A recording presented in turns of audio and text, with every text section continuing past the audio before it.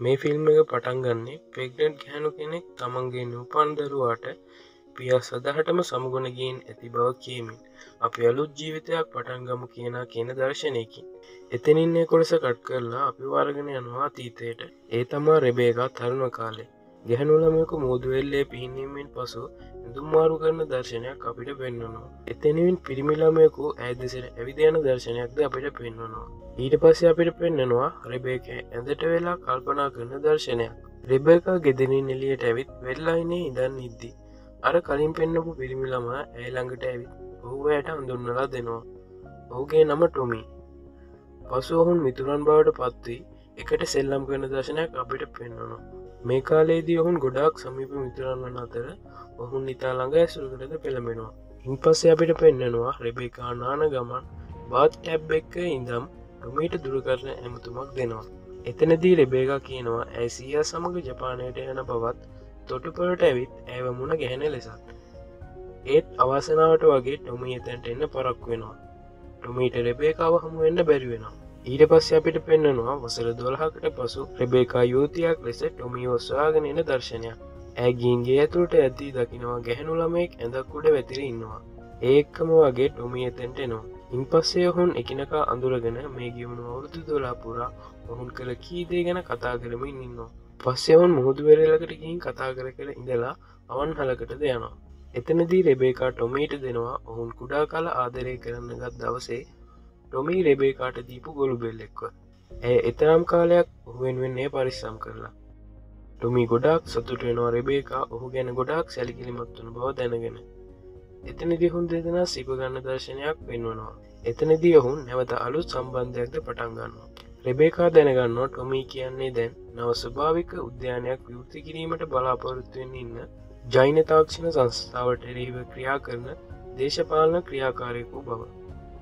රෙබේකා ඔහුගේ කටයුතුවටද උදව් කරනවා. පස්සේ අපිට පෙන්න්නනවා රෙබේකා සහ ටොමි වාහනයක පවුලු පාරක ගමන් කරමින් සිටින දර්ශනයක්. මුහුන් මේ යන්නේ අර කලින් කිව්ව ජෛවතාක්ෂණ සමාගමක සාමාරම්භ උත්සවයක් විනාස කරන්න හිතන්. පාලු ලස්සන තැනිතලා ප්‍රදේශයකදී රෙබේකා කියනවා ටොමීට වාහනය නවත්තන්න කියලා. රෙබේකාළඟට යන්න හිතාගෙන ටොමීද වාහනයෙන් බහිනවා. ඒකම ටොමීගේ වාහනය පව් කරගෙන යන ගමන් හිටිය වාහනයක හැප්විලා නොමීතන දීම මැරෙනවා. රෙබේකා එතනදී ලොකු කම්පනයකින් වාහනයට නගිනවා. එගේ ආතර කතාව පටන්ගත් මොහොතේදීම ඇයට නැති වෙනවා.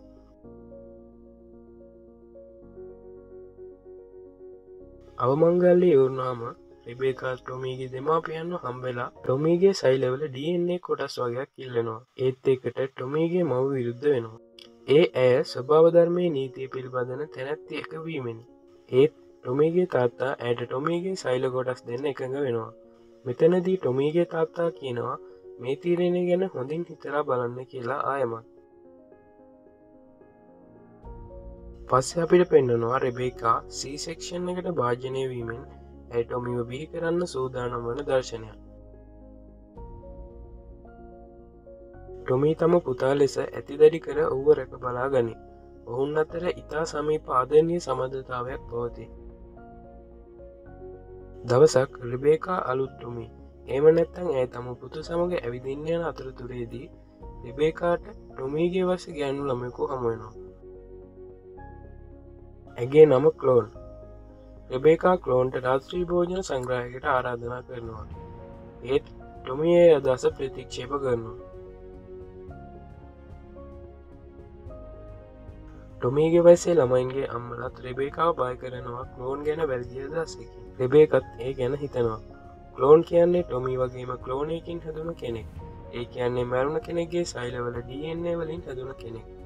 රෙබේකා බයවෙන්නේ ටොමීත් එහෙම කෙනෙක් නිසා. ඒ නිසාම ටොමීගේ මිතුරන් සියලු දෙනාටම ඔවුන්ගේ අම්මලා ටොමී වාශ්‍රය කරන එක නවත්වන්න කියලා නියෝග කරනවා. මේ නිසා ටොමීට එයාගේ උපන් දෙන දවස සමරන්න වෙන්නේ ඌගේ මව එහෙම නැත්තන් රෙබේකත් එක්ක. දැන් හමදාම ටොමී ඉන්නේ අම්මත් එක්කම.